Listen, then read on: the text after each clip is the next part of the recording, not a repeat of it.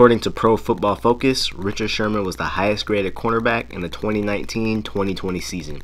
He allowed only 8.4 yards per reception and one touchdown in 517 coverage snaps. PFF analyzes every player and every play to deliver their grades, not just the use of stats. So, we are going to take a look at a few of Richard Sherman's plays this year and see why he is the best. So, let's start with scheme. The 49ers base coverage is a cover 3. This particular play is a variation of a cover 3 and they are blitzing.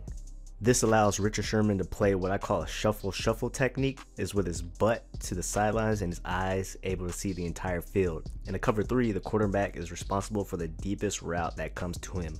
This technique allows him to be in position to not get beat deep, but can be susceptible for deep comeback routes since he is coming off a torn Achilles. So Sherman is the smartest player on the field, and because of that, he can jump any route with his eyes able to see the receivers and the quarterback.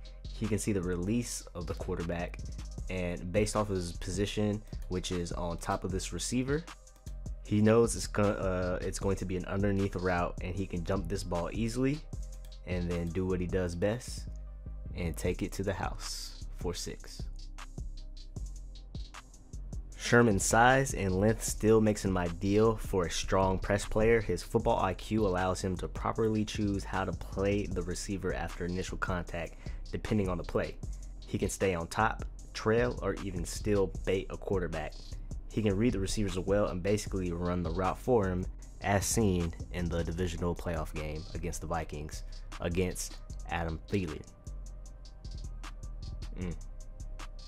The only thing Sherman lacks is speed. After tearing his Achilles, he's definitely not getting any faster. A quick receiver playing one on one with no help and a double move is the only way to beat Sherman.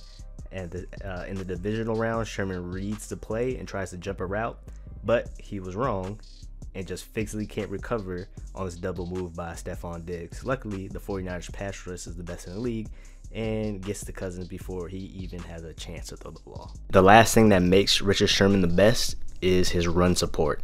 I think the whole season he only missed one tackle, but that was an open field, one on one tackle with support behind him.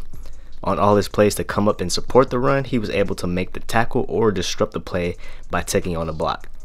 He can uh, diagnose the line better than most DBs, as most DBs, specifically cornerbacks, aren't even taught to read linemen, but he does it so very well. He can come up on the run fast, and he is aggressive when tackling.